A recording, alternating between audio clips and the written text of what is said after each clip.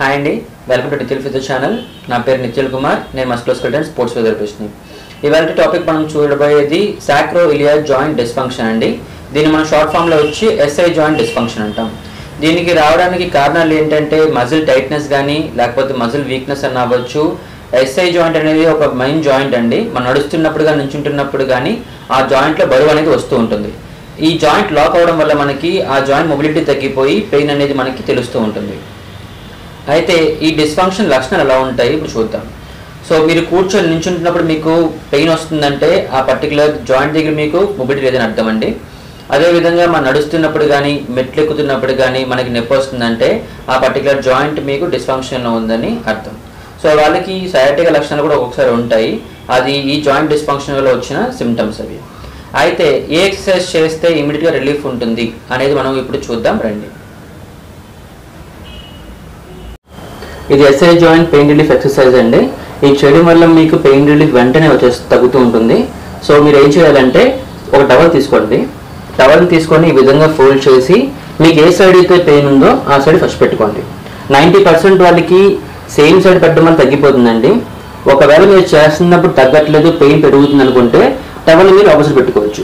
ఒక ten percent వాళ్ళకి మాత్రం టవల్ ఆపోజిట్ పెట్టుకోవడం వల్ల పెయిన్ తగ్గుతూ ఉంటుంది. సో ఇప్పుడు ఏం చేస్తారంటే ఈ విధంగా టవల్ని పెట్టుకొని మోకాల మీద సపోర్ట్ తీసుకోండి. రెండు సైడ్ సపోర్ట్ పెట్టుకొని మీరు గ్రాడ్యువల్గా బ్యాక్ వెళ్ళి మీ హిప్ అనేది మీ హీల్కి టచ్ అవ్వడానికి ట్రై చేయండి. ఈ విధంగా ట్రై చేసి అదే విధంగా మళ్ళీ పైకి రావాలి. మళ్ళీ నిదానంగా కిందకి వెళ్ళి అదే విధంగా మళ్ళీ పైకి రండి. ఈ విధంగా మీరు పదిసార్లు చేయాలండి. అలా మూడు సెట్స్ చేయాలి మీరు. పది పది పది. అలా చేశారంటే మీ పెయిన్ రిలీఫ్ ఇన్స్టెంట్గా ఉంటుంది. వెంటనే తగ్గిపోతుంది మీ నొప్పి.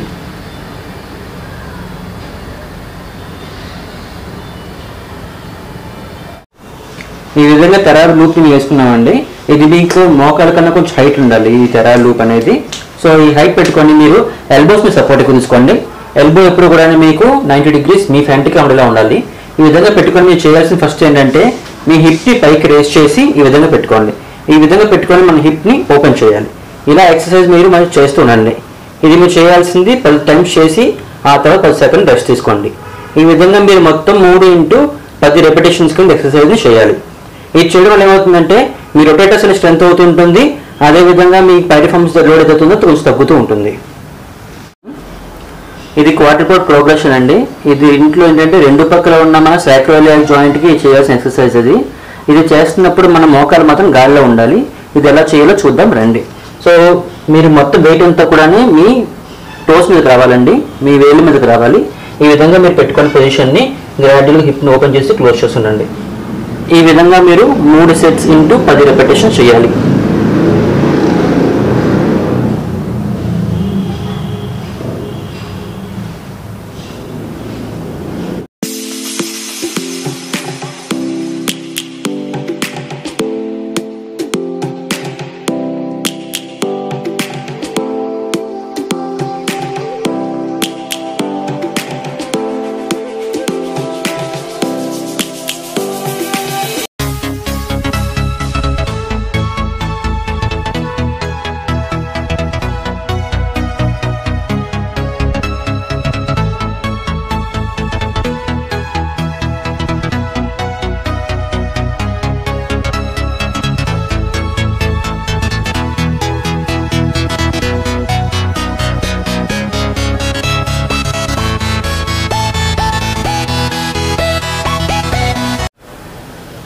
ఈ వీడియో కనుక మీకు నచ్చినట్టయితే లైక్ చేయండి షేర్ చేయండి అండ్ సబ్స్క్రైబ్ చేయండి.